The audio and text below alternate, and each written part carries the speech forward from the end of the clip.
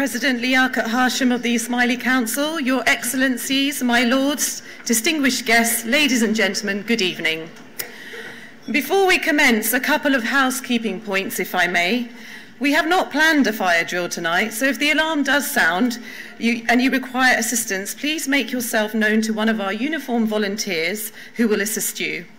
May I also request for the courtesy of our speakers and the enjoyment of others that you put your phones on silent.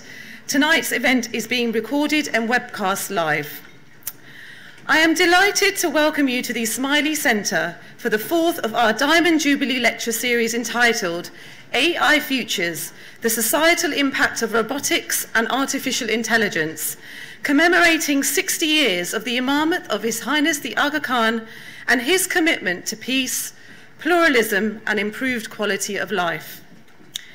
His Highness has been deeply engaged with the development of countries around, around the world through the work of the Aga Khan Development Network. The spirit of inquiry has been one driving force behind the activities of this Imam as well as his predecessors. As such, the pursuit of knowledge and its application for the betterment of humanity is a defining feature of the work of his institutions. In this vein, this lecture is apt to be part of the Diamond Jubilee Lecture Series. His Highness also refers to intellectual humil humility. So, as we embrace the impact of artificial intelligence, how do we ensure we do it responsibly and with humility so that we improve quality of life and positively impact society? These are areas that we will hopefully explore this evening.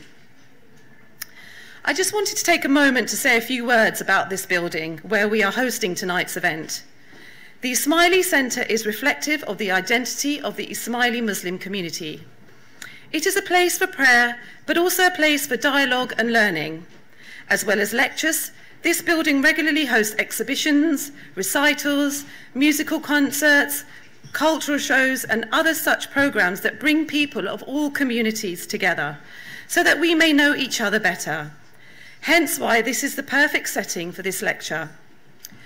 At the opening of this building in 1983, His Highness said that this building, quote, represents the inspiring traditions of the past, the stirring challenges of the future, and the continuing search for peace through prayer, unquote. We hope that those amongst the audience for whom this is their first visit will take the opportunity to take a tour of the building after the event. So just to share the order of the evening, we, we are delighted that our keynote speaker is Professor Alan Winfield. He is Professor of Robot Ethics at the University of the West, Engl West of England in Bristol and visiting professor at the University of York. He received his PhD in Digital Communications from the University of Hull in 1984, then co-founded and led APD Communications Limited until taking up appointment at the University of West of England in Bristol in 1992. Alan co founded the Bristol Robotics Laboratory, where his research is focused on the science and engineering of cognitive robotics. After the keynote address, we will have a moderated discussion facilitated by Professor Alnoor Bhimani. Alnur is Professor of Management Accounting at the London School of Economics. He is former head of LSE's Department of Accounting, founding director of LSE Entrepreneurship, and a director of LSE Enterprise. His bestseller books are on financial controls and management, tech entrepreneurship, and aspects of globalization, governance, and economic growth. For the full bios, you have copies of those uh, with you on your seats. But first, to kick off the evening, I would like to welcome President Liaquat Hashim to say a few words. Thank you very much.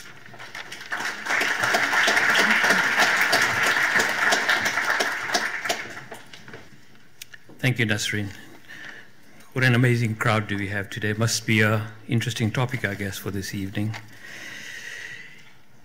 Uh, Bismillahirrahmanirrahim. Your Excellencies, ladies and gentlemen, welcome to the Ismaili Center on what is going to be a fascinating discussion on robotics and artificial intelligence. For someone who's a real techie and hasn't missed a single episode of Star Trek, this evening promises to be a real eye opener. And as the popular saying goes, Go boldly, go where no man has been before. This year is a very special year for the Ismaili community as we celebrate 60 years of His Highness's accession to the Ismaili Imamate. This is a supranational entity representing the succession of Imams since the time of Prophet Muhammad, peace be upon him. The breadth of achievements over the last 60 years have been both for Ismailis and the communities within whom they live. They've been simply outstanding. We have in the audience today His Excellencies from Uganda and Kyrgyzstan, where the Aga Development Network have made major infrastructure developments in hydropower and education, together with the significant universities in Central Asia. With all the excitement around AI, there are some worrying factors. The question of ethics and warfare are yet largely unanswered. Being in the care business, I can see how robots can become a companion to many of our seniors, a number of whom have little or no communication with humans. Is this ethically correct that we as humans have advanced so much that we accept losing that human to human contact? On the other hand, individuals over the age of 65 make up more than a quarter of Japan's population, which has led to Japan's quick adoption of robots and smart sensors in elderly care. This raises ethical concerns for many, but could prove a lifeline for elders left in social isolation. A recent BBC report highlights drones turned into missiles, fake videos manipulating public opinion, and automated hacking are just three of the threats from artificial intelligence in the wrong hands. The malicious use of artificial intelligence report warns that AI is ripe for exploitation by rogue states, criminals, and terrorists. However, do the advantages outweigh the negatives? We already have such high standards of technology in our pockets. Our phones can do so much that none of us here can afford to be techno dinosaurs anymore. In the media every day, we have news of driverless cars, or to use the correct lingo, self drive cars. This was a science fiction concept not so long ago. You will call a car with your phone, it will show up at your location and drive you to your destination. You will not need to park it. You only pay for the driven distance and you can be productive while driving. Our kids may never need a driver's license and may never own a car either.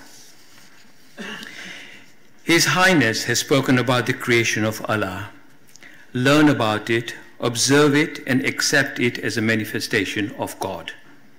He reflects on when the first astronauts, who were hardened technological people, went into space, they came back believing in God. This is a striking example that underwrote the image of Islam, which says, learn about Allah's creation.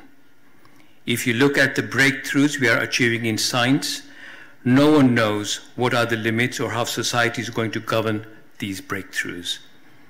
There is a need for great humility in the face of science that is demonstrating extraordinary change in everyday life. In one of his recent speeches, he says, quote, Our technologies alone will not save us, but neither will they ruin us. It is not the power of our tools, but how we use them that will determine our future.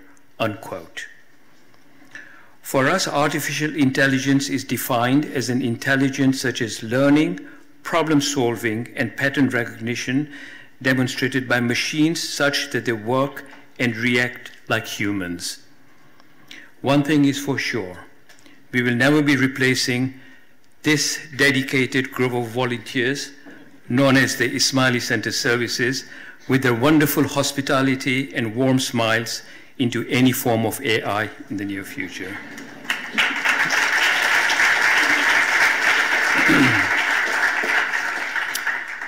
Ultimately, we as a society control our own destiny through the choices we make. And on that note, please join me in welcoming our keynote speaker, Professor Alan Winfield, and moderator, Professor Al Bhimani, to enlighten us on this very interesting and controversial topic. Thank you very much indeed.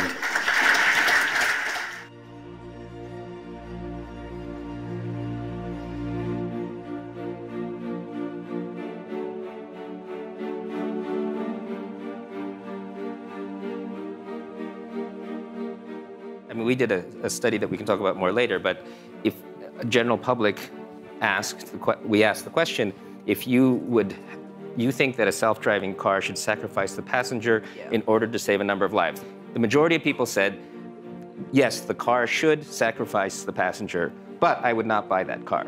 So it shows very clearly that the market is not the right way to make certain decisions.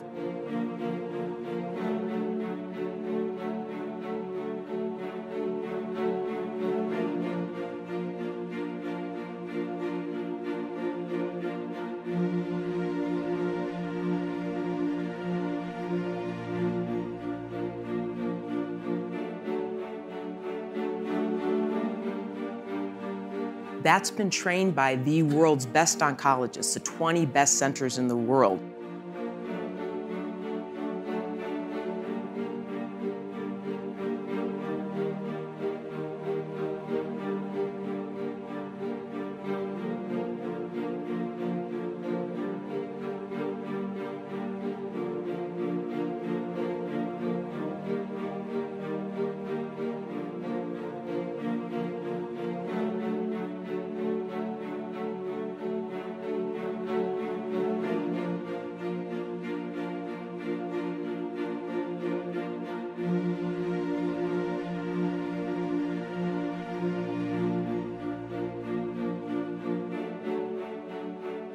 First thing I think we should do our very best work in helping train people for the jobs of the future.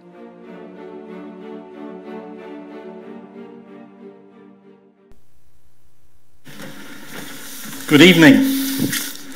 Uh, it's my very great pleasure to be here in this wonderful building, really wonderful building. And uh, I especially would like to thank, uh, firstly, the uh, Ismaili National Council um, in this Diamond Jubilee year of, of uh, His Highness the Aga Khan. And I'd like to make a couple of personal thanks, if I may, too, uh, to Mohammed, who I think uh, uh, identified me or found me, as it were, um, and suggested me, and to Akbar, who uh, has very kindly and, and graciously uh, helped me to prepare for this, this evening. So um, I'm going to talk about uh, robotics, uh, and AI and the societal implications. The lecture will be in three parts. Uh, firstly, kind of what is a robot and what is AI.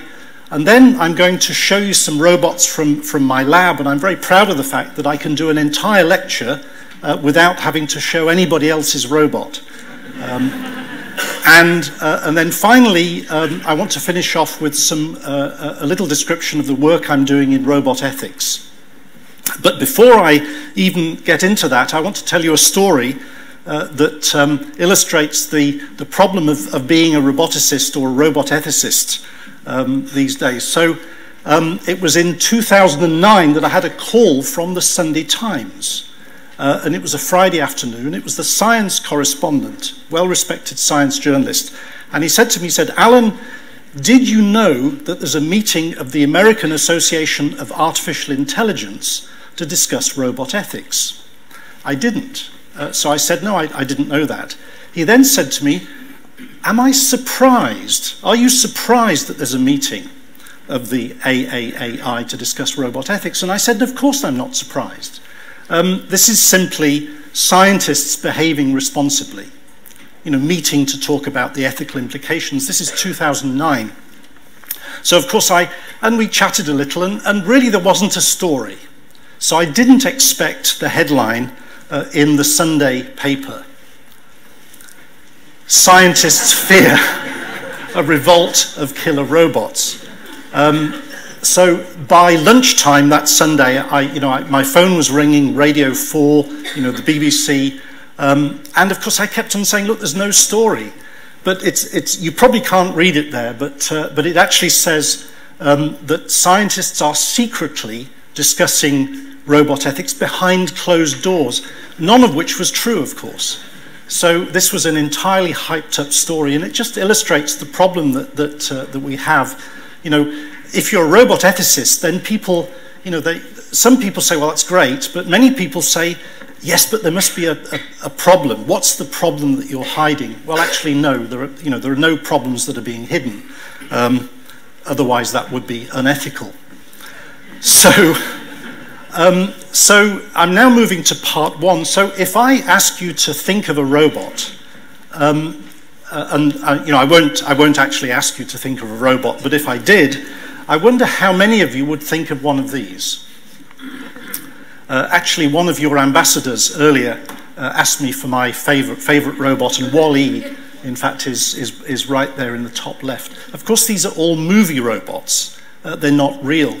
Uh, but one of the problems that, that people like me face is that many people in society think that these robots are real, that, that robots are, real robots are like movie robots. Of course, they're not. But actually, what I, what I hope to show you in this lecture is that real robots, real world robots, are much more interesting than, than movie robots. Um, so perhaps you thought, um, no, you thought of, of robots like these, uh, if, you know, if you think of a robot. Of course, these are real world robots, and these are first wave robots. These are the first generation of robots that have actually been around for a very long time. Um, and yes, you can see on the left-hand side, uh, those are uh, assembly line robots, robots that have actually been around for 50 years or so, um, uh, building cars, washing machines, and so on, uh, on assembly lines. We've also had robots for many years in, in warehouses, factories, um, and surprisingly, um, on the planet Mars. So you may be surprised that I, I regard a Mars rover as a first generation robot. It's not particularly smart. It's basically remotely controlled from Earth, uh, which is why it takes such a long time to do any science. And of course, we've also had uh, robots um, helping do bomb disposal. These are first generation robots. There are many more, but, but that's just a, a little example. Now, what we're now in is the second wave of, of robotics, and these are much more interesting. Um, so the second wave, you can see immediately, I hope from that slide, looks very different. Very, very different. The first thing to notice is that second generation robots are designed to work with people, up close and personal, not behind a safety cage like the robots in the factory. Um, and this is Rodney Brooks, probably the world's most famous roboticist, with one of his workplace assistant robots called Baxter.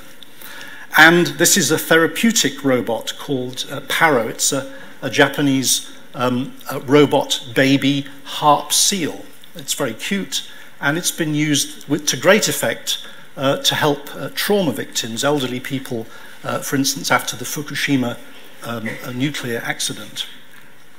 Uh, this is a, a robot that learns, and this is a, a robot in the shape of a dragonfly, a, a, an actual flying robot. So you can see immediately that, that the second wave of robots are designed to work with people and to look more like animals or, or, or, or even humans, although I'm, I'm not happy about uh, humanoid robots. So, what is a robot? Um, well, no, no, hang on, I'll, I'll, I'll, get there. So the second wave of robotics, actually, let me, let me go in, in, into a little bit more detail. For those of you that know your uh, evolutionary biology, you may be aware of the Cambrian uh, period in evolution. This was, it was so-called the, the Cambrian explosion of new life forms, new complexity new amazing animals that appeared in the Cambrian shale, something like 600 million years ago. Now, I believe that robotics is going through that same kind of Cambrian explosion of new forms and materials. So we have uh, robots that are um, uh, copies, copied on nature, multi-robot systems, uh, bio-inspired, biomimetic robots. the first one, I, I should have said, those are robots designed to work with humans. Um, robots that learn, robots that are adaptable. And perhaps most importantly, and this may surprise you, new materials, new smart um, adaptive materials, synthetic skin, artificial muscles. Um, the problem with, with the first generation robots is that they, they use electric motors, which are heavy, and it's the wrong kind of motion, very inefficient uh, way of, of, of, of getting um, uh, of actuation. So there's a lot of work on what we call soft robots. Future robots need to be light and compliant, just like we are. um, so that if one falls, you know, if one falls over and, and, falls into you, it won't do any more harm than if a child were to, to, to fall on you. Uh, so uh, really these five um, aspects characterize this second wave of robotics. Now, I promised to uh, tell you what a robot is. Well, my favorite definition is very simple. It's simply an artificial intelligence inside a physical body, or what we call an embodied AI. So it's the AI that gives the robot its smarts, it makes it intelligent. Essentially, of course, a robot needs more than that. It needs to sense its environment, it needs to, to collect sense data from the world, it then needs uh, to decide what to do next. It's what we call action selection and then it needs to act on the basis of the decision of the artificial intelligence. Um, and that we call this the sense, plan, act loop. And, and typically, um, that's what a robot does. It senses the environment, it then applies that sense data to some AI, and then decides how to act according to the, that sense data. So um, let me now show you uh, some of the, the robots. I'm going to illustrate each of those five um, uh, qualities of this second wave of, of, robots.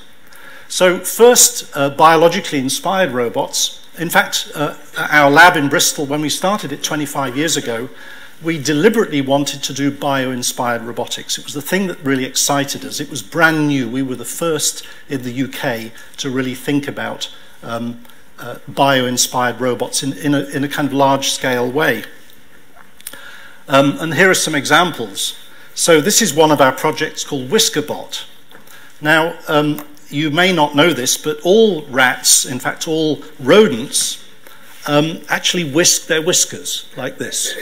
Whereas cats and dogs' whiskers are fixed, um, a rodent will actually feel and, and see in the dark, quite literally, with its whiskers. And so what we've done here, what, what um, our researchers have done is build a, a, a model, if you like. It's, it's, a, it's, about twice the size of a rat. Um, you can see most of it is 3D printed. In fact, all of that yellow stuff, including the whiskers, is 3D printed. So it just shows you the power of 3D printing technology. And that, um, that uh, robot um, senses the world with its whiskers. In fact, it goes even beyond, the biomimicry goes beyond just the whiskers. The robot also has a model in electronics, it's actually about two and a half kilograms of electronics, uh, of um, about one cubic millimeter of the rat's brain. So it's the part of the, the real rat's brain that processes the data from the whiskers, and we've built a model of that uh, in electronics in, in the robot. So in a sense, in a single project, we're doing both um, robotics and neuroscience. We're working with, in fact, the neuroscientists to test models uh, of the rat's brain. Um, and this work has really continued. We, you know, we, we, you can see that little uh, picture there of um, the, the current generation artificial whisker module. So that contains all the electronics and the motors to, to cause the, uh, the whisker to, to whisk. Uh, so um, uh, again, if you're interested, I, I, should say, if you're interested in any of these, uh, you'll find details on our web pages of the, uh, of the, of the robots and the projects behind them. Um, EcoBot, uh, this is one of our most famous projects. this is a project that started some years ago where we, we wanted to discover if we could build a robot that could eat food, could literally get energy from food. Um, and uh, our, first, our first attempt was EcoBot 2, this robot here on the left. And you can see around the circumference of the robot are eight objects. Each of, each of those is called a microbial fuel cell. Now, a microbial fuel cell is basically like a battery with an anode and a cathode, except that it runs not on chemical energy, but on food. And inside the battery, there is a, a, a mix, an inoculum of microorganisms that literally digest food. In fact, any food, any biomatter will be digested. And one of the byproducts of that digestion is ions, cations to be precise. And so in the membrane between the, the anode and the cathode, we scavenge those free electrons. And of course, you make a circuit, and hey presto, you have electricity. So the wonderful thing about the microbial fuel cell is we're not having to ferment you know, uh, a food and generate biogas and burn it. That's a very complicated process. This is a direct conversion from food to, well, slightly indirect, I guess, from food to electricity. And um, the first generation, that that robot there, EcoBot 2, actually ran famously on eight dead flies. And it turned out that the, the, the, the exoskeleton, the, the, the, the chitin, which is the, you know, the, the skeleton of the, the fly, is a sugary protein. It's a polysaccharide, in fact. And it's a really good fuel source for the, for the, um, uh, the microbial fuel cell. And that robot famously uh, worked continuously for two weeks on a diet of eight dead flies. Now, at the end of that two weeks, um, unfortunately, the robot stopped working. The reason for that was because the waste products of digestion killed the inoculum, killed the microorganisms in the MFCs. Now, that's not surprising. We all know that, that, that waste has to be eliminated. And so um, we built EcoBot 3, this big uh, robot on the right. It's actually about that tall. Um, and instead of having eight MFCs, this one has 48 small fuel cells around the circumference of the robot. Uh, and it has um, a little um, catcher at the top. And we use an artificial pheromone to attract real flies. This case, in this case, real flies, not living flies, not, not dead flies that we find on a, on a, a, a, you know, a windowsill. And those flies are attracted into a, a pond. Um, the, the nutrient rich solution is then piped down to these microbial fuel cells, um, and the energy that's uh, generated uh, from the digestion is stored in um, a ring of supercapacitors and every so often the robot will then move um, either to, uh, to, to, collect water or basically to move along some rail tracks um, in, the, in the tank in which the robot lives. Now, the thing that, that is really special about this robot is that we believe it's the world's first robot with a complete artificial digestive system. Now, uh, in fact, it also happens to have its own litter tray, because of course you would, wouldn't you? Um, but I want to now show you what's come out of that project, uh, and it's something, it's work that we're particularly proud of in the lab. Uh, we discovered a couple of years ago that um, the microbial fuel cells, which will work on more or less any foodstuff, also work particularly well with urine, with, with human wastewater. And one of the first um, demonstrations of this uh, technology was that we showed that with a single pee, you can generate enough power to recharge a mobile phone um, to make one call.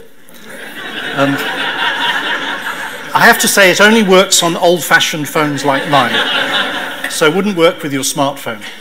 But um, uh, we also discovered that um, if you, if you uh, line these microbial fuel cells up in a stack so that the, the waste uh, from the first one uh, feeds the second one, the waste from the second one feeds the third one, and so on, what happens is, is, is, is magical. You, you, you not only get power from the stack, but you also get clean water at the bottom of it. So we're, we're cleaning the water uh, and generating electricity at the same time. Now, my colleagues Yannis Ieropoulos and his uh, group um, have won uh, funding recently from the Gates Foundation, the Bill and Melinda Gates Foundation, and from Oxfam, and they've been basically building toilets, uh, which you may think you may think is a rather odd thing for a robot lab to do, but you know why not? Um, and here is a picture uh, of prototype toilets that have been used uh, for the last two years running, 2016 and 2017 at Glastonbury as a field trial.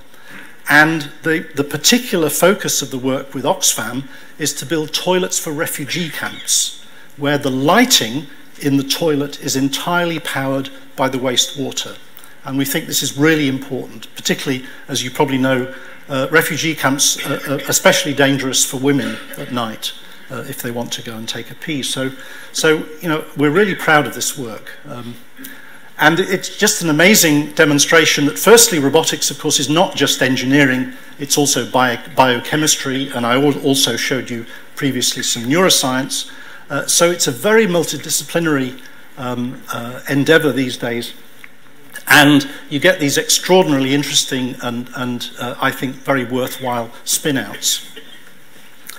That, I think, brings me to uh, swarm robotics, which is, is my own uh, field, or has been until I, uh, as it were, went to the dark side and became a roboethicist.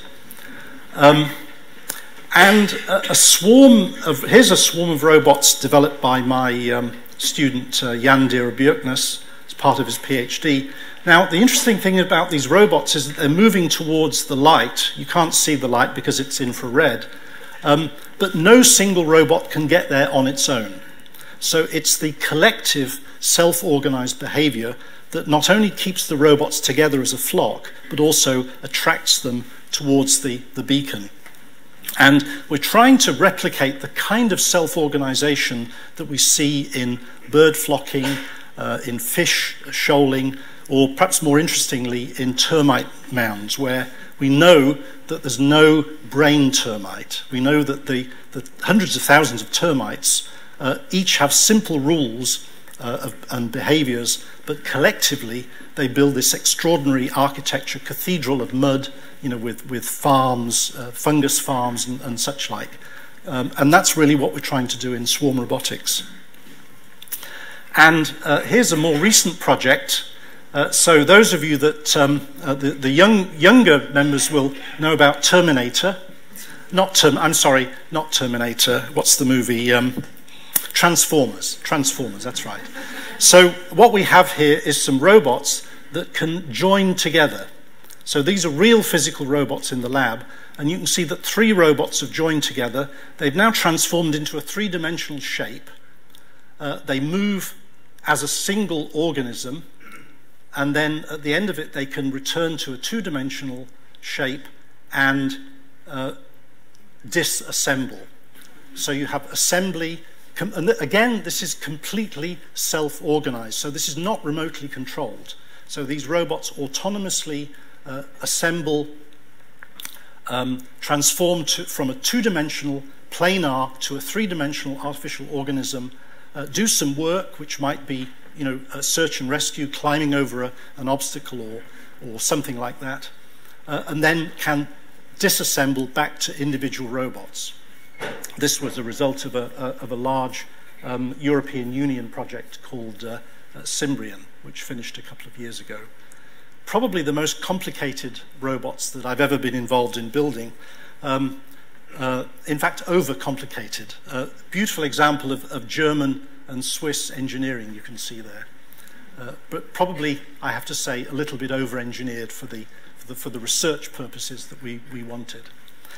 And my final example of swarm robotics, and I, I couldn't resist uh, including um, uh, my colleague uh, Sabine, Dr. Sabine Hauert here. Uh, she had this wonderful photograph for Wired magazine, uh, and she's working on um, nanoparticles for cancer treatment. And so, so as part of that work, she's built a swarm of these robots. These are each about I guess about a centimetre uh, tall by uh, perhaps half a centimetre in diameter. That I think is a is a possibly a, a pound coin or, or, maybe a penny. I can't remember. But the, the swarm that we have is a, has a thousand of those robots. They're called kilo. That's kilo for, for a thousand, not, not killer. Kilo bots. Um, and very important.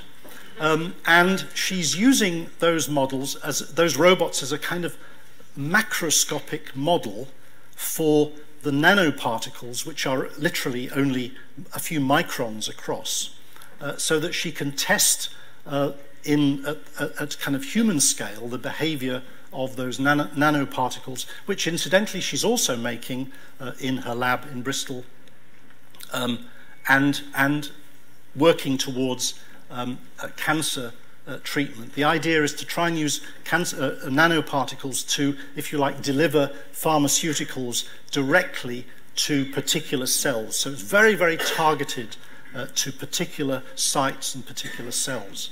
So really, really powerful work, which I, you know, I think will uh, bring great um, advances. In fact, I've known Sabine for some years. I was on her um, uh, PhD examination uh, panel when she did a PhD, brilliant PhD at EPFL in Lausanne uh, on swarm robotics. She then went to MIT and did a postdoc in, in uh, nanomedicine.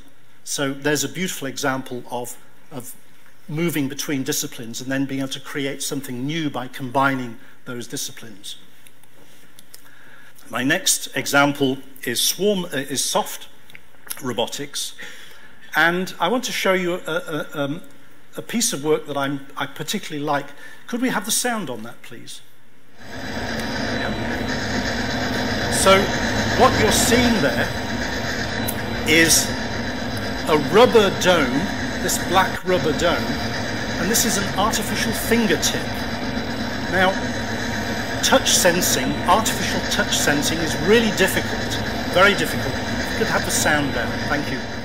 Um, and the brilliant student who invented this TacTip, we call it TacTip, basically what he did is he took uh, a rubber dome and on the inside surface, the, the concave inner surface of the dome, he, he printed a matrix of white dots. And then he arranged a camera, this is a cross section, a camera which is looking up to the inside of the rubber dome. And you can see on that movie, I hope you can just about see, the pattern of white dots deforms as the fingertip moves across the surface. So what Callan did brilliantly is he converted a really hard problem, which is touch sensing, into an easy problem, well, relatively easy problem of image processing. We know how to do image processing. So we're doing touch sensing by doing image processing. And this fingertip is perfectly capable of sensing shape and texture as well. Now, we've taken this a step further, thank you. Um, and can you see the, the bed of, of pins there? and the pins lift as the fingertip is, is, is touched. And what this is, this is what we call remote telehaptics. And basically it means that we now have the, the technology that a surgeon could feel what an artificial fingertip feels at the end of an instrument, the end of a laparoscopic instrument, for instance, with keyhole surgery. In fact, the surgeon doesn't even need to be in the same room or the same continent as the, as the instrument. Um, and we think this is really powerful. We, are developing this further in conjunction with, with the major hospitals in, in Bristol for uh, teleoperated surgery. Uh, and it's a beautiful example of, of soft robotics for sensing. And again, just to, to, to push the thing about 3D printing, why it's such a powerful technology for us, we not only print the, the major parts like, like this yellow thing here, but we even 3D print the mold for the, the rubber uh, fingertip. Um, so the whole thing is fabricated in, in, in the lab. It's a, a lovely project, I hope you agree. And uh, what I can uh, show you here um, is that same technology now applied to keyhole surgery. This is the kind of, uh, of instrument. Um, this is obviously just a hand operated um, instrument. It's rather crude. This is a, several years ago. Um, and what we're able to do is to provide force feedback uh, from the end of the instrument uh, back to the, the, the, as it were, the human operator. Um, again, I think this is really uh, powerful work. Um, and I, I, should say that actually quite a lot of the work that I'm showing you just by accident is uh, in uh, medical and surgical robotics.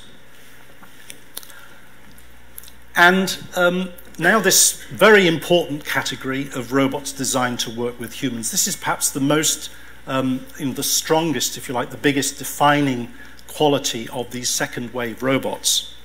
Um, here, language, and if we could well have sound, thank you. Like this pointing. Okay, giving you leg.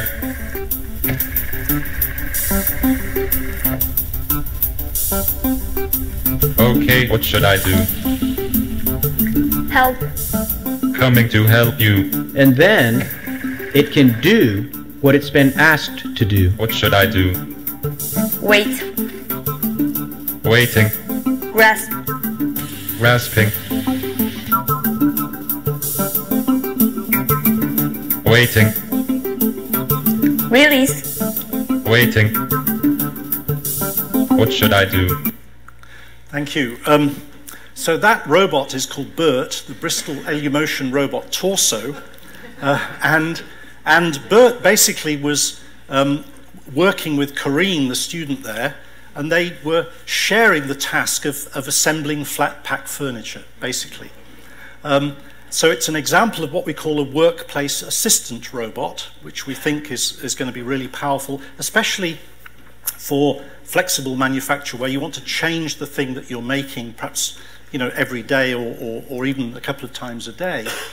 Um, and the important thing about that robot uh, developed as part of the CRIS project, Cooperative Human Robot Interaction Systems, is that the robot understands both human speech, that's relatively easy, but more importantly, gesture.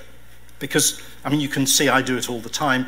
Actually, most, of, most human communication is gestural, is body language. It's more important than speech. I mean, you'd think it very odd if I simply stood completely still and just spoke. Um, and we think that robots need to be able to understand human gesture, particularly if you go stop like that. Um, you know, it's really important. So this robot, in fact, understands and makes gestures as well, uh, BERT.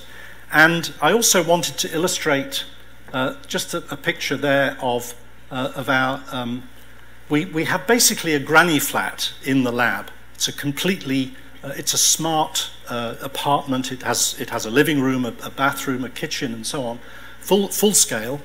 Um, and it's designed for us to, uh, uh, to test and develop new assisted living or care robots.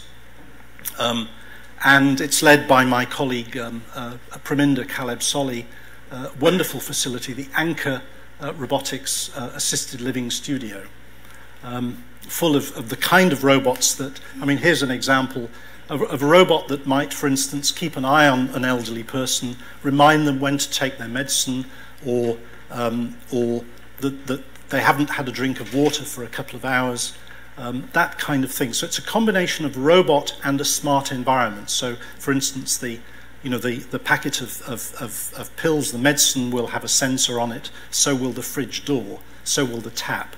So the robot can, can read essentially uh, what's happening in, in the apartment and uh, respond uh, appropriately to, uh, to uh, the, uh, the elderly person. So, a really great example of, of robots and humans working together. Now, in, in, the, in the President's um, introduction, he mentioned driverless cars, um, and you also saw that in the little uh, warm up video there. Very important technology. We have a lot of work in driverless cars uh, in the lab. Here's a couple of examples the Venturer project and the Flourish project. These are not really developing the technology, they're really working on the human factors. Uh, we think the human factors are incredibly important. What kind, you know, how does a passenger react uh, to different, different styles of driving of the, of the car? I mean, if the car is very aggressive, then it's likely the passenger will be frightened or alarmed at, at the very least. So we're very concerned with the human factors. Um, I have to say that I think driverless cars are going to take a lot longer to be in our lives than, than, uh, than certainly many people believe. Um, you've only got to ask yourself what you would do uh, if you come out of a, uh, of a side street onto a busy main road uh, when there's no gap.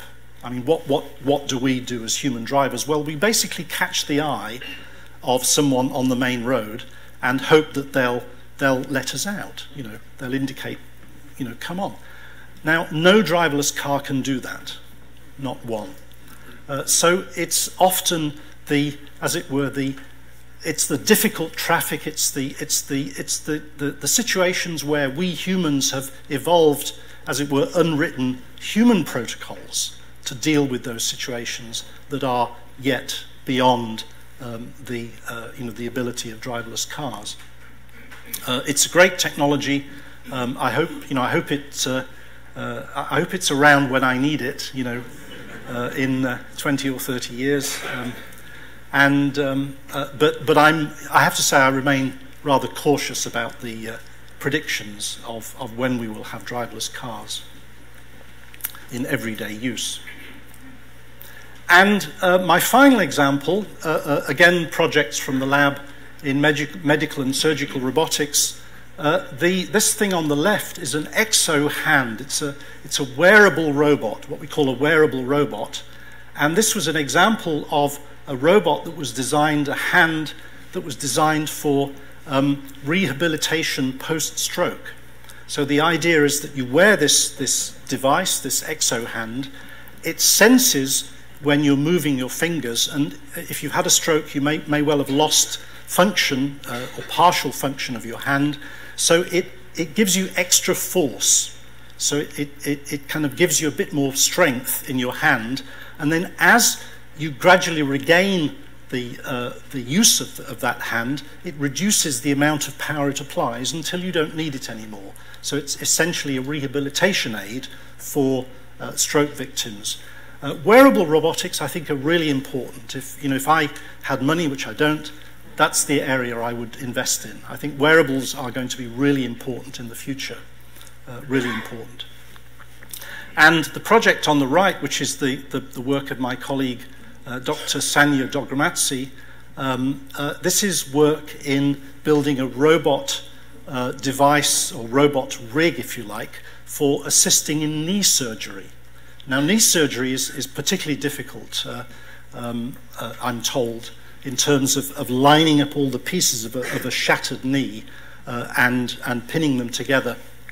In fact, this particular rig, uh, which you can see part of here, it's a big apparatus, and they, uh, they did field tests, I should say field tests, they did trials uh, on a human cadaver uh, about a year ago, down at one of the, the hospitals in Bristol.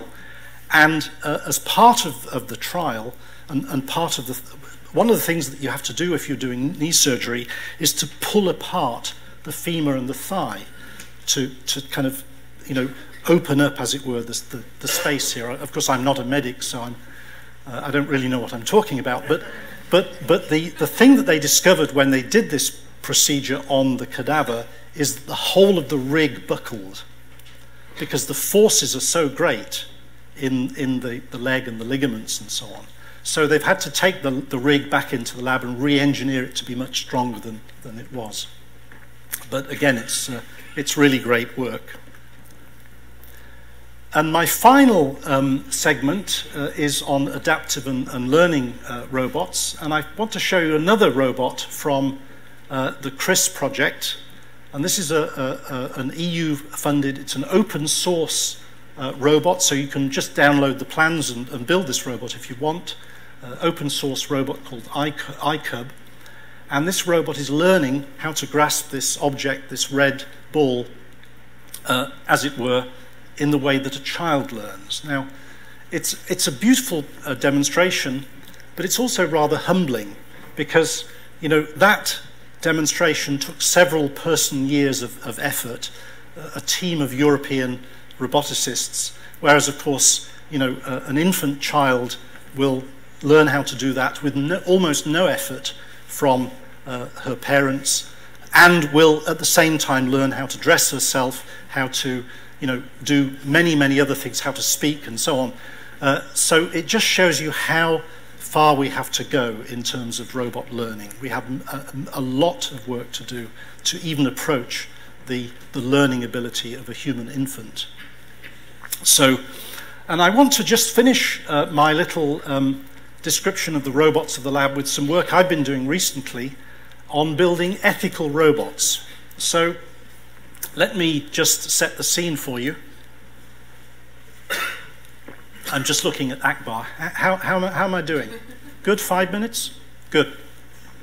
So um, imagine that you're walking down the street and you see a hole in the pavement and somebody's about to fall into that hole in the pavement. Now, uh, it's likely that you'll, you'll try and save them, try and stop them from falling into the hole. Now, why is that? Well, it's not just because you're a good person. It's because you have the ability to predict the future. You can predict the consequences of this person who's peering at their smartphone, you know, and not looking where they're going. You can also predict the likelihood of you actually being able to help. And that's exactly the experiment we set up here. So this is the A robot after Asimov. Here's a hole, not a real hole. The A robot is heading for this position here, and this is the H robot, the human robot, robot pretending to be a, a hapless human, not looking where it's going. And uh, this is um, an experiment uh, in simple ethical robots, and I'll show you what happens. So, um, robot A, the Asimov robot, is in fact, um, it has inside it a simulation of itself and the other robot. So it's continuously predicting the future. It's telling the future. It's, it's predicting the consequences of its actions. And you can see that the robot, in fact, the A robot, has successfully just collided with the H robot. It's gone off safely uh, and it works. You can see that the A robot notices the H robot and, and heads it off, and it works perfectly. And at the end of this experiment, I said to Christian, uh, who, who the, the PhD student who did the work, I said, this is a bit boring. We can't really write a paper where we just say, well, it works. Uh, so I said to him, why don't we put two H robots in? And give the robot, give the ethical robot a dilemma? And we believe this is the world's first example of a robot facing a, an ethical dilemma. Um, and I should say it's running exactly the same code as before. We haven't changed the code one bit. So same setup, except there are two H robots, both not looking where they're going. And the A robot, um, ah, okay, fails to save either of them. And, um, and you know what? It took us a while to figure out why the A robot is so bad. Um, in fact, it's consistently bad. Occasionally it saves one of them, turns around, but it's too late for the other one, and so on. Um, and it took us a while to figure out what's going on here. The problem is that we've given the A robot the ability to recalculate the consequences of its actions two times a second. So every half a second, it can change its mind. It doesn't have a mind, of course, but it, it can change its decision. So we've not only made an ethical robot, we've also made a pathologically indecisive robot, which is not a good idea, of course. And um, when um, another colleague, Dieter Vanderelst, set up the same experiment with these humanoid robots, the same thing happened. So it wasn't just because of that particular experiment. Sorry, mate, you know, you're going to plunge to your doom. I'll go and save that guy instead. So, um, and I, I, think I'm very short of time now, but I'm just going to very quickly um, uh, show you a picture of, of some of our um, wonderful uh, incubator. We have an incubator in the lab. Uh, Akbar saw this when he came to visit the lab a few weeks ago. And so far, we've spun out around a dozen companies. Um, and uh, we're, we're, very proud of, of, in particular, one of them, Open Bionics. Well, we're proud of all of them, but Open Bionics is particularly interesting. They make 3D printed prosthetic hands and arms for primarily children, young people who've lost a hand or an arm for whatever reason. They've done a deal with Disney and with uh, Deus Ex, the, the games company, so that these arms and hands are kind of styled after superhero arms and hands. In other words, nothing like kind of awful hospital prosthetics. So they've made them really cool, you know, cool for kids. A great company. I can, I can, I, you know, you should check them out. They've won tons of awards recently. Um, and just a, a few words on ethics. I know I'm almost out of time. Uh, Akbar's uh, um, nodding at me, yes. Um, so I've, uh, this is a, a picture which I thought you might be interested in that I, I uh, uh, composed for evidence to the uh, 2016 Parliamentary Select Committee uh, on the Commons Select Committee on Science and Technology, uh, showing the link from ethics to standards and to regulation – And I think that regulation is part of building trust. Uh, because when you have transparent regulation, in other words, there's public engagement going on at the same time as regulation, uh, then people understand that the technology, you, the, the aircraft that you're flying on is well regulated, is well, you know, it's well built, it's built to very tough standards. If there's an accident, you know that it will be investigated to very, very rigorous standards of investigation. So um, ethic, ethics is a kind of trust technology. I think that we need ethics so that we trust our technology. And um, in the last couple of years, I've been involved uh, in the British Standards Institute. I'm very proud of the fact that uh, BS 8611 uh, is the world's first uh, ethical standard for the design of robots and robotic systems. In fact, BS 8611 is a kind of methodology, a toolkit for allowing engineers, roboticists, to conduct what we call an ethical risk assessment of their robot or their robotic system to help them to mitigate the ethical risks. Uh, we, inside the, the standard uh, we've set out, uh, we've brainstormed, if you like, a whole range of ethical risks, uh, everything from addiction, vulnerability, um, uh, uh, jo job employment harms, um, all the way through to environmental harms, sustainability. So a, a huge range of, of ethical hazards and, and advice on how to mitigate those hazards. And more recently, I've become involved in the IEEE um, Standards Association. IEEE is a, a very big um, uh, electrical engineering institution, electrical and electronic engineering uh, institution um, led from the US, um, members right across the world, but their standards association is extremely um, uh, uh, successful. You've all heard of Wi-Fi. Well, Wi-Fi is an IEEE standard. It's IEEE 802.11, in fact for the geeks among you. Um, and uh, early in 2016, the IEEE Standards Association launched this global ethics initiative in robotics and AI. Uh, it covers the whole of computational intelligence, everything from you know, um, a medical diagnosis AI to a driverless car, and everything in between.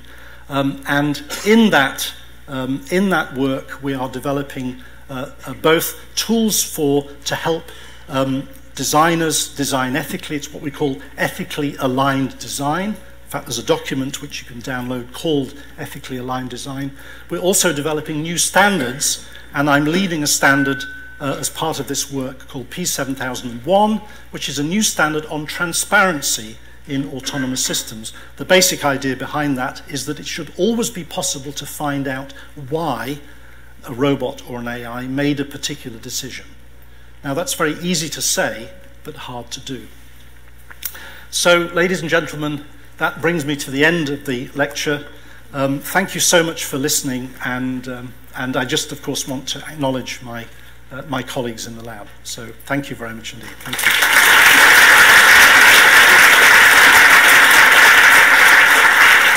Thank you,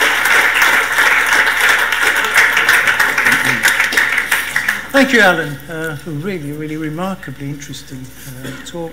Um, you, you touched on a lot of the, the history of robotics and, and how much you've contributed to that, to that history, and, and no doubt to the future that uh, we're going to have to face at some stage. Um, but you also just touched on ethics, and, and what I wanted to do was to open up the discussion a little bit more and talk maybe a bit about the economic implications, sure. maybe some of the social implications, and, and, and also, you know, the dystopic sort of elements of, of robotics. Um, but, but to kick off with, with the economics, so um, we, we, we hear sort of every day something about the impact that AI is going to have.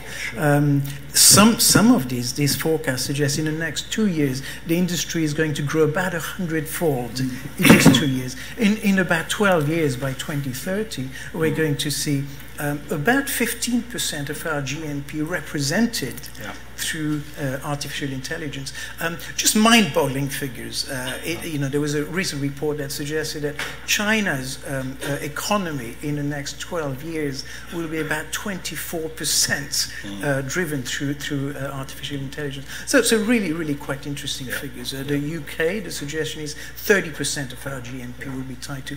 Um, so that's a positive side, economic value creation. Sure. And then, of course, a knee-jerk reaction is, what does that mean for me? And, and so you look at other surveys and they suggest um, a total restructuring of, of, of the basis on which we create value, and that means basically the workplace. Yes, Um, yes. Some, some suggestions are that we're going to have to see about a billion job in the economy, global economy, being restructured. Um, so my question to you is, uh, this is this is going to happen almost tomorrow. Uh, we need to prepare now for it. Uh, what are some of the educational sort of elements that we should be looking at now? What are some of the training skills that we might want to sort of invest in uh, in order to, to tackle that future, that era of artificial intelligence? Sure. Well, you know, I would say uh, I, there are several things to say, I think, uh, Alnoor, to, to that question. Um, the first is I don't think things will happen as quickly as the predictions suggest. Right. And um, the, the, the famous roboticist I showed, Rodney Brooks uh, at MIT, um, on, on one of the early slides, um, he, he said, look, he said, the problem is that, that a lot of predictions are being made about, you know, all, um, uh, you know, uh, workers in, in, in hotels, for instance, right. um, catering workers or, or people who, who change the room will be replaced by such and such a date. Now, what you have to do is, he said, Rodney said, you have to ask yourself how many of those robots are do, doing that job right now, today? And the answer generally is zero. So if, there's, if there isn't a single, even a single prototype of a job being done by a, a, a robot, a prototype of a robot doing that job, then really these predictions are fantasy. Now, I'm not saying that they're completely out of, out of the question. Uh, I think the biggest risks are to um, knowledge work. Um, in other words, AI, soft AI, uh, as opposed to robots, hard AI, um, that's moving faster.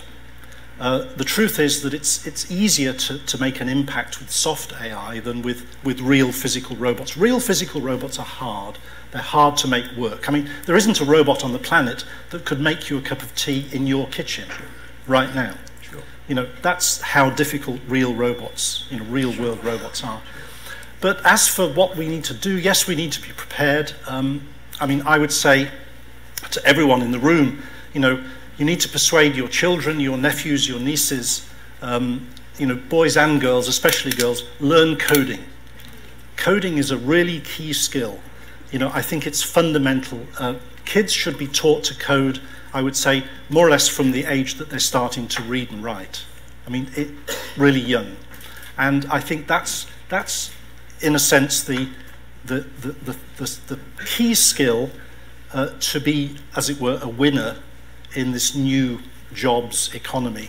Now, of course, coding isn't enough. You, you know, you, you need to do, you know, maths and, and, and humanities. I think it's really important that, uh, and we're beginning to understand in, in robotics and AI, that actually ethical AI and ethical robotics, robotics needs um, a cross-disciplinary approach.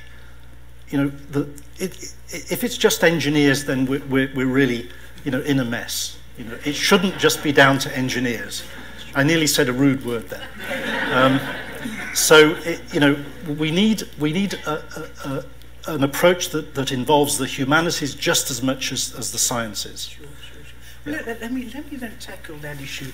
Um, you know, it used to be that, that, you know, we were comfortable about the future at one stage, and now we're not sort of so comfortable. Um, uh, great, yeah.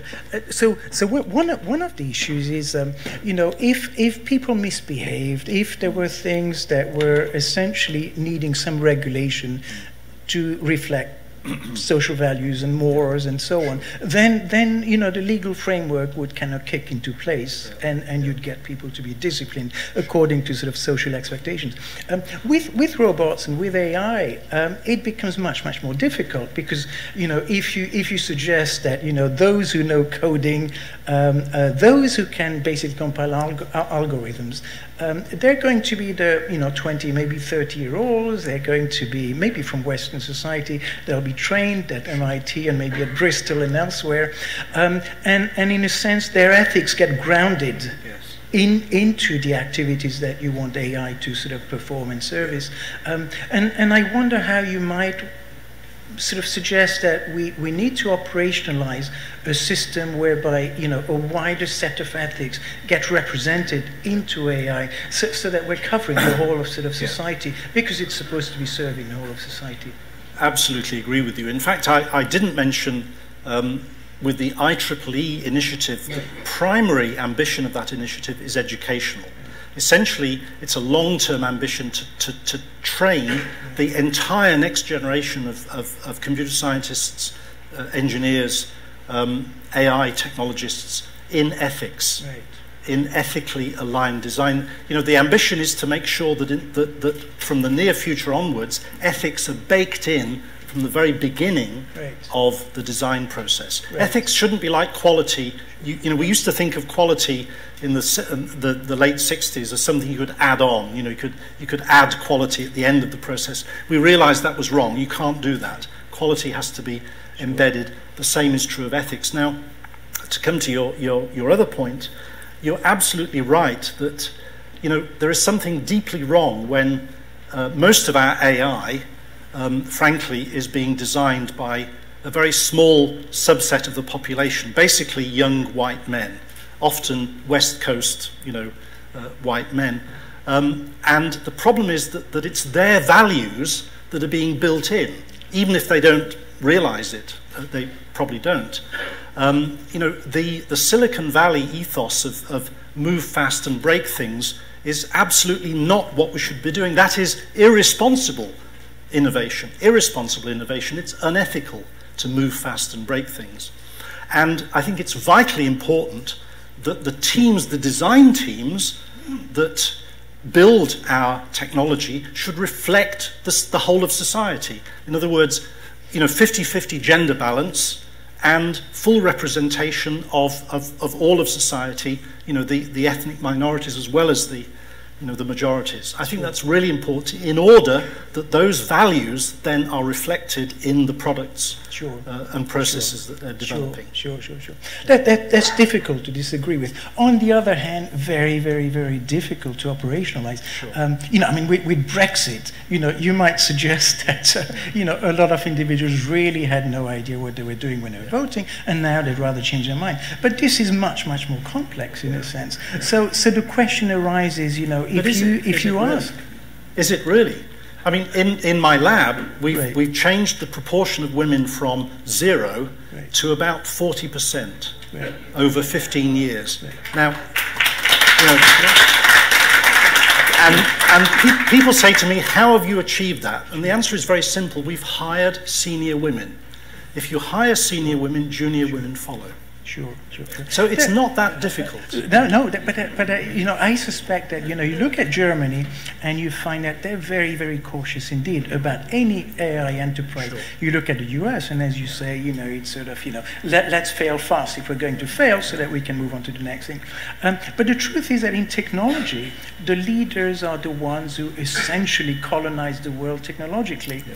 And, and so, so in a sense, you know, you, you run the very real risk of having certain groups of individuals, as you say, typically Western, male, maybe sort of liberal-minded, who, who um, ground and, and, and bake the ethics. Yes. Yeah, yeah, yeah. yeah. Um, so so there, there, there is that sense in which, you know, uh, economies such as the US, which are advancing very quickly, have less sort of protection around the impact of, of, of, of technology and therefore ethics. Um, in the UK, we might sort of, you know, put the bar a little bit higher, and the Germans sort of higher than that. Sure. But but um, technology is universal, and and so to me, that's that's the complexity. How do you ground or how do you bake, to, to use your language, ethics that are generic in into technology that's going to be fairly universal? Mm. It, you, are right. It's Alnoor. It is a it's a, a huge task, and, and it's it's actually a, a, a generational task. I mean, we're not going to achieve this in five years or ten years, but but but I think you know there there are things we can do. We can we can shame companies. Right. Uh, you know, I, I, mean, I'm I'm currently uh, working on a little project on my blog right. where I'm I'm trying to ask through Twitter. Who's doing ethical governance? Which robotics and AI companies are doing ethical governance? Sure. You know what? I'm getting a deafening silence. You know, right.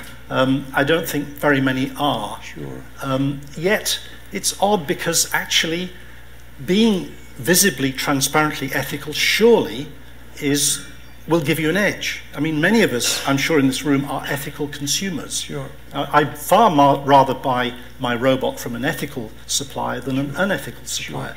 Sure. But um, you know, the uh, I've, I've kind of lost my thread. No, th- that's right. The you know, another important thing that, that I think people tend to forget is that there's lots of, of tons of existing law that applies to you know. So uh, you know, take an AI uh, like Facebook, it still, you know, must not contravene basic human rights. Sure. Sure. So uh, again, it's it's it, you know, I've seen this in my students. Um, it's amazing how many robotics students think that somehow what they're doing is outside legal frameworks. It's not, of course.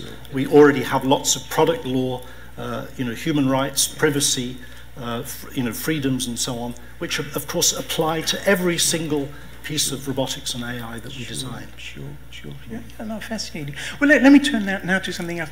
Um, you're you're an optimist. It strikes me. Yes, I mean, I am. You, you wouldn't fundamentally. Be in, yes. Yeah, yeah. I mean, I'm, I'm also a professional worrier. Yes, yes. So, so, so absolutely. But n- now, you know, you you you have. Um, very significant figures, you know, from, from Bill Gates to Elon Musk to Putin, um, Yep. you know, to, to, to Stephen Hawking, you know, who would say, um, I mean, Stephen Hawking, I, I think, at, at very recently said AI is really the end of humanity. Um, uh, Bill Gates is very worried about superintelligence. He thinks it's around the corner. Um, there is this sense in which, uh, you know, if you have artificial intelligence, and artificiality is really about, you know, the, the, the, the human element that you're basically grinding into machines. But is there a stage in your mind where we're not going to have artificial intelligence out of artificial intelligence? It'll just be intelligence, and it'll be intelligence that supersedes ours. You know, um, I, I, I think some people would refer to that as singularity. Is, is there a stage in your mind that we're going to hit at some point in time where essentially we're not going to be the most intelligent beings on Earth? Well, curiously, and people say to me, you know, when will we have superintelligence? My answer is actually we have it already. Right. Uh, so we already we've had we've had chess programs that are better than the, the best chess players for several decades. Uh, you know, we've we for since 2016 we've had Go players, AI Go playing AI better than the world's best Go players. You know, we already have driverless cars that are as good as some drivers. Um, you know, but getting better. So, so um, but the, the important thing there is that all of those examples are what we call narrow AI. In other words, they're, they're super intelligent in one thing only.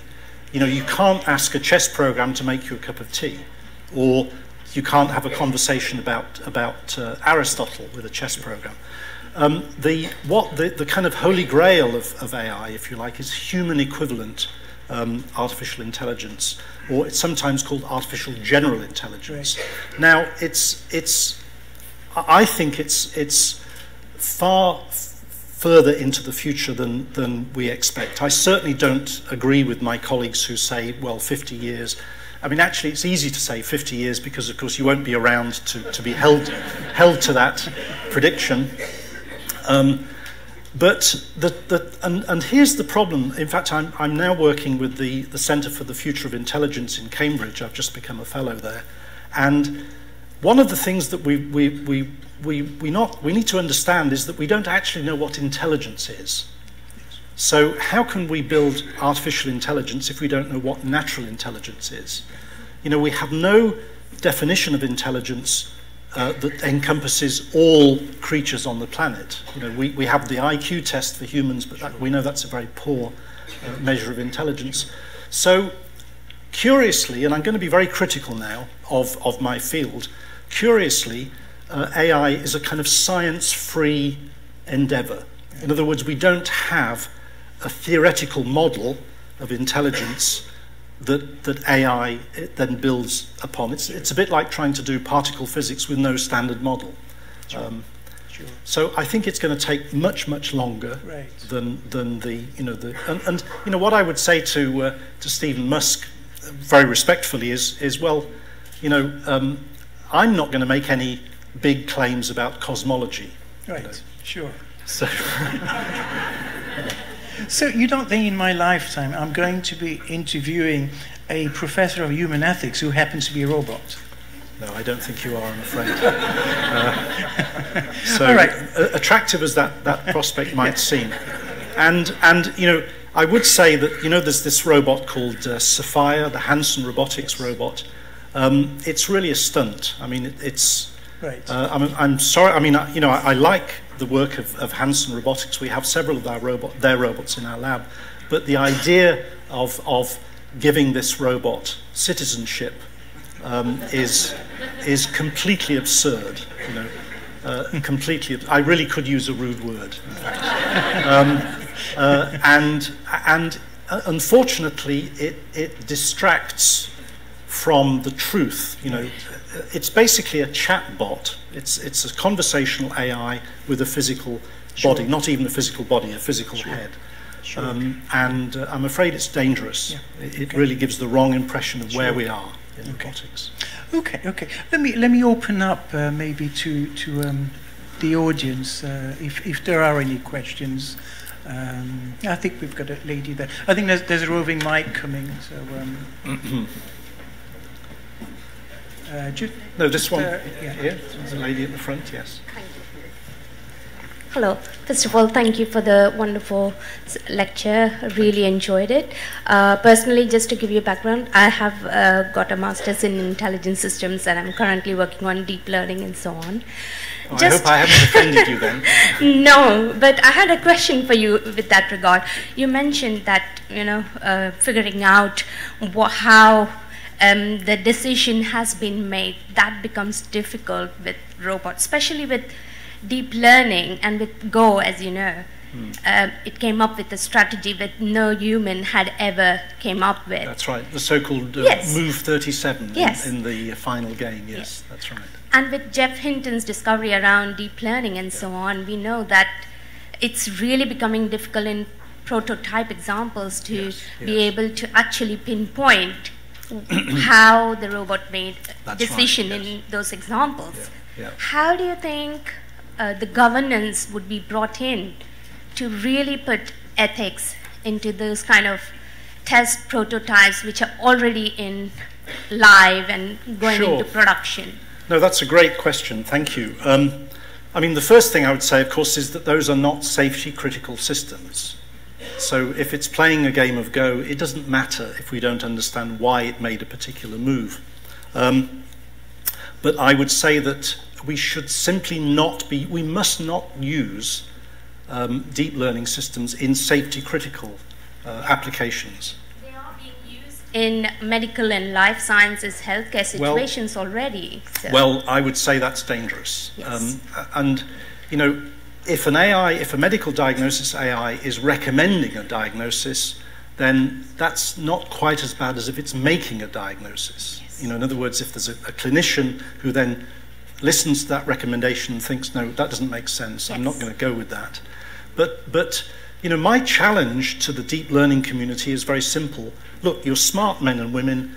Invent a deep learning system that is explainable, that is interpretable. I simply don't believe it's not possible.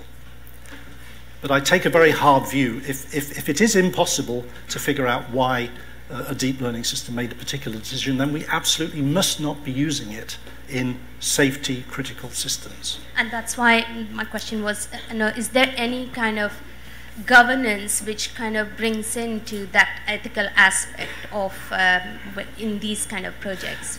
Well, at, at, the, at present, At the no. moment, no. At present, no. But I think this is why we need regulation.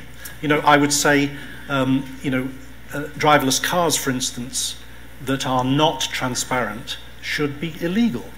Where the autopilot is, is opaque, where it's inscrutable, they should be illegal. And I've said this to, you know, to several parliamentary uh, committees.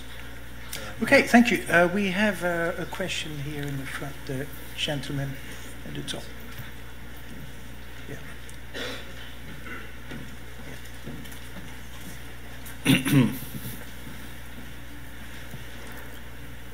the extreme ramification of the automation, some futurists think that in about 30 or 40 years, 57% of the world population will be unemployed.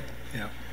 Uh, they also reckon, you see, there is a view that if William Beveridge was alive today, he would have recommended, you see, universal basic income. Yes. This is one of the great ethics or issue of our time. What's your view on that? Uh, Well, I absolutely agree with you, 100% agree with you. I think, I mean, for me, the two biggest ethical problems in, in robotics and AI are gender, which I've, I've mentioned already, and wealth inequality. Uh, the problem is, you know, we need, we, the, we see this already. you know, enormous amounts of wealth are being created by the big AI companies. Vast, I mean, you know, uh, uh, wealth that's unimaginable. Intellectual property rights and and for me, you know, it's really important that the wealth generated by robotics and AI should be shared by all in society. And, and you know, I'm not just saying that because I'm jealous of the, of the wealth that, that those companies have created. I am, of course, but, but, but, but what we need to understand is that we all funded that research. So, you know, all of the, the research that is being exploited by these mega companies was to start with publicly funded. It was, it was, it was funded through the taxpayer in universities uh, and possibly in military establishments, but still uh, taxpayer funded. So actually, you know, we should uh, enjoy a premium. And, and I think that the, the simple truth is that, that uh, you know, a, a future in which almost everybody is unemployed uh, is unsustainable. I mean, clearly, um, you know, the whole of society will break down. Uh, so it's in nobody's interests for that kind of wealth inequality to, uh, to uh, sustain, to continue and grow. Okay, thank you. Um, we have um, a question, but a couple of hands up here. Uh, thank you so much, Dr. Winfield, for such a fascinating lecture. Uh, my question comes out of my personal um, studies. I'm doing a master's in bioethics at the moment at King's College. Um, Great. And something that we were discussing in class recently was um, the naturalist fallacy. And I was wondering how it plays into emerging technologies because using the terms artificial versus natural, um, it leads to sort of a framing effect uh, within the public. And um, I was wondering what your opinion is on the implications of this framing effect for emerging technologies and uh, public trust regarding these technologies. Thank you. I'm not sure I understand the question. What do you mean by the framing effect? So, Sorry. calling something artificial versus calling something um, natural or Yeah. natural intelligence that has um, a psychological effect on the public, Yes. determining whether or not these technologies are something that they would like to buy into or Yeah. not. So, Yeah. Is it going to be problematic later on when you're trying to um, gather funding or gather public support for these emerging technologies when you're calling them artificial versus natural? Um, Yes, I mean, that, that's a great question. Um, I'm not sure I really know the answer. Um, well, I don't know the answer to any, really, really uh, the answer to any of these questions, but, but um, it's certainly true that um, the inventor of the term artificial intelligence, um, uh, McCarthy, John McCarthy, uh, uh, uh, regretted inventing that term because it, it set up, if you like, it, it framed um, uh, a false expectation. You know, by calling something AI, uh, we then, because humans anthropomorphize, we're, we're pathological anthropomorphizers, then we tend to imbue things that aren't very smart with much more smart smartness, and especially if they're called AI, we tend to assume an AI is, is really smart, whereas it, it generally isn't very smart at all. Um, and you're right that, that somehow natural um, intelligence or natural uh, implies good. Um, and artificial, I, I, you know, I'm not sure if it implies good or, or, or bad. Uh, it depends on who you are. It Depends on whether you're a, a techno optimist or, or a pessimist. But, um, but I agree with you that is a problem. I'm going to have to think about that one. Thank you. Thank you. Okay, thank you. Um, I think we've got time for certainly one more. Yeah. So a quick, quick one, if, if uh, we can have the mic. So uh, you were talking about how we need to have more cultural representation within the design of AI. Yeah. So how do you think we can appropriate um, user interaction uh, to resonate with uh, diverse mindsets of people. And leading on for that, from that, how do you think we could train an AI to be able to think in a cultural mindset, if we could, that was a lot broader and not uh, focused on one context? Gosh, that's a, a, tough question. I mean, the first one of those, um, I'd refer you to frameworks of, of responsible research and innovation. So one of them is called the AREA framework, which means stands for anticipate, reflect, engage, and act. And, and, and uh, anticipation, reflection, engaging, really it means that if you're designing a product, you need to engage deeply with your customer, with your, with your user base, and listen, really listen, really reflect on what they're saying, and that, that user base hopefully you know, reflects the diversity of the society that you're hoping to serve or, or, or you know, is your customer base. Um, and by engaging in responsible research and innovation, you can properly uh, build that feedback into your product. Now, the second part of that is more difficult because, you know, bias in, in AI is now well known. Um, uh, you know, uh, terrible examples of, of uh, vision image processing AIs that, that will only uh, properly recognize, you know, white faces. Um, and, and that's, I'm sorry, but that's just bad engineering. I mean, the problem with a lot of these deep learning systems is that they've taken uncurated data from the internet. Just, you know, let's take a, a million images from Facebook, completely uncurated, and use that data to train the, the AI. Well, that's just bad engineering. So good engineering means not only transparent algorithms, but actually curated data uh, that's used to, to train the, the system. Okay, thank you. I think uh, good timekeeping means that I have to stop here. Uh, th thank you for those questions, and uh, thank you, Alan. Thank you. Thank you.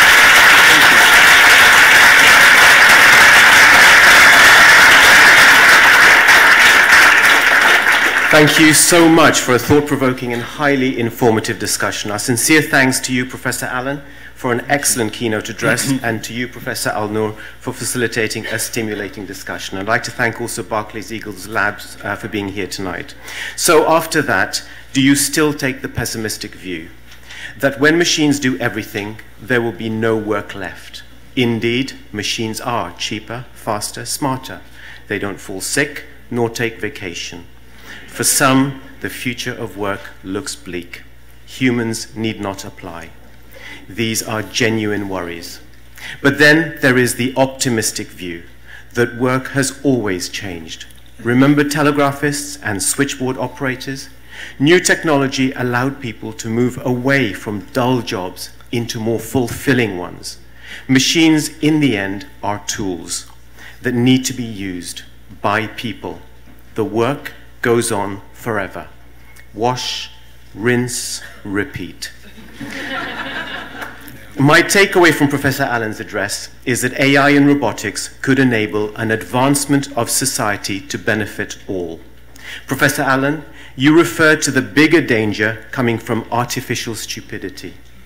Worries about robots taking over come from images of the Terminator.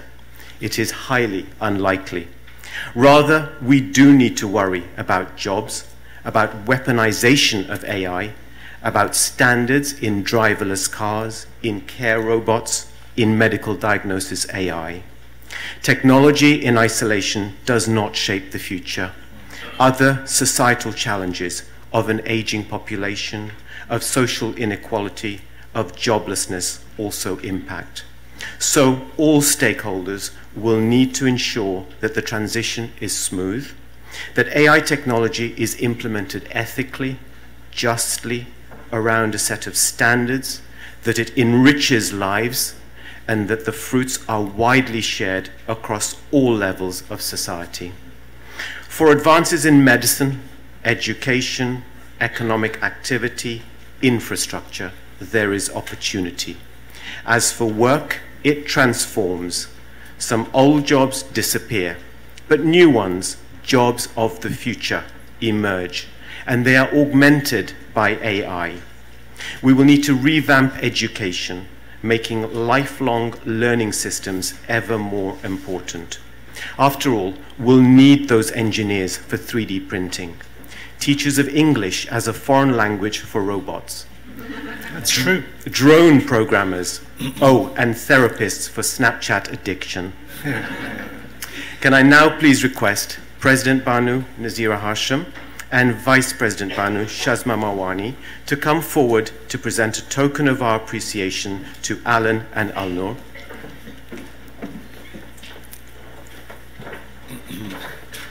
And please join me in giving them another round of applause.